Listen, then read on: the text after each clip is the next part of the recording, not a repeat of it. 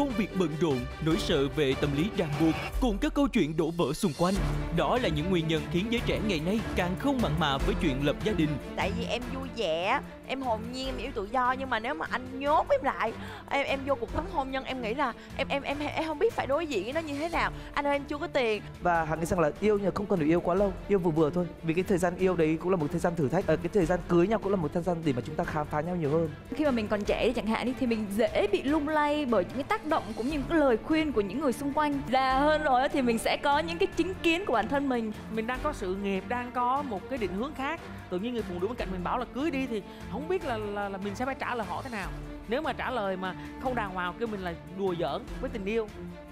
Vậy thực tế, hôn nhân có đáng sợ như các bạn trẻ vẫn nghĩ? Câu trả lời sẽ có ở Quyền năng phái đẹp. Chủ đề Vì sao người trẻ sợ lập gia đình lúc 19 giờ 15 phút ngày 11 tháng 3 trên kênh truyền hình Vĩnh Long 1.